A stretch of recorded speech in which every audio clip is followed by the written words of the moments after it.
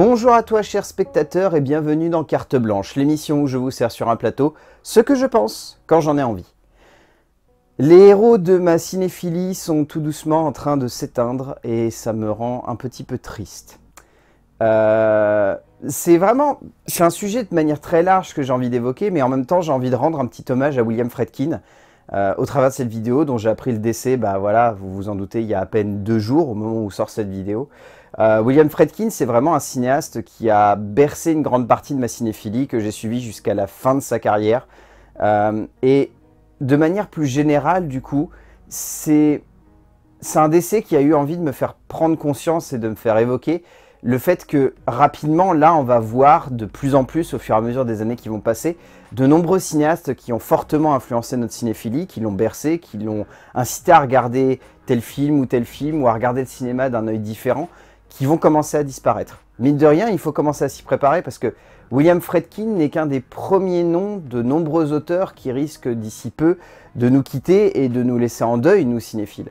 Euh, un deuil très particulier parce que ça n'est pas un deuil de proximité, c'est pas un deuil comme quand on perd un proche, mais ce seront des personnes auxquelles on se sera lié très fortement. Des personnes qui nous auront incité à regarder tel film ou tel film, qui nous auront incité à regarder le cinéma avec une nouvelle manière, un nouvel œil, une nouvelle logique. Euh, William Fredkin, c'est quelqu'un qui m'a incité à beaucoup regarder la force du montage, par exemple.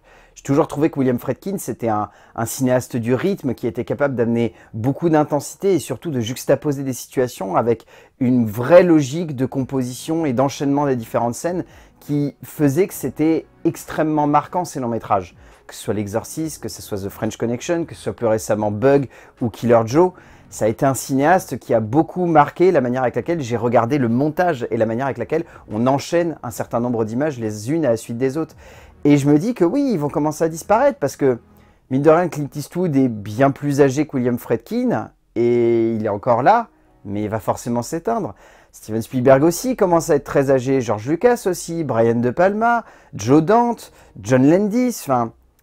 Ouais, c'est des gens qui vont disparaître les uns à la suite des autres et moi qui vont me laisser un petit vide. Un petit vide parce que euh, c'est des mecs qui m'ont fait regarder le cinéma d'une certaine manière, c'est des mecs qui m'ont incité à, m'intéresser aussi au cinéma de manière plus générale, à ne pas uniquement regarder des, films grand public, même si pour certains ce sont des auteurs qui ont fait du grand public, mais ils m'ont incité à regarder le cinéma différemment. Et je me dis que forcément, ces, grandes idoles que l'on a connues étant jeunes, qui nous ont incité donc à, à comprendre le cinéma, bah en partant, elles vont forcément nous laisser un petit goût amer en bouche. Et ça me rend un petit peu triste. Et c'est vrai que il y a plusieurs personnes qui sont mortes dans le monde du cinéma dernièrement. Il y a Sophie Filière aussi. Il y a Angus Cloud, si je ne dis pas de bêtises, un des acteurs d'Euphoria. Alors, j'ai pas regardé Euphoria, mais il était très très jeune. C'est surtout ça qui a marqué. Enfin, il y a beaucoup de gens dernièrement qui sont morts et qui font prendre conscience que euh, la vie est loin d'être éternelle. Alors là, c'est belle phrase philosophique de comptoir de 2h du mat après 15 bières. Mais euh, ouais, ça nous rappelle simplement que euh, même le cinéma, euh, au travers de son côté éternel, dans le sens où les auteurs qui livrent des films vont forcément laisser une trace à travers le temps, bah, il n'est pas non plus éternel pour ceux qui le composent.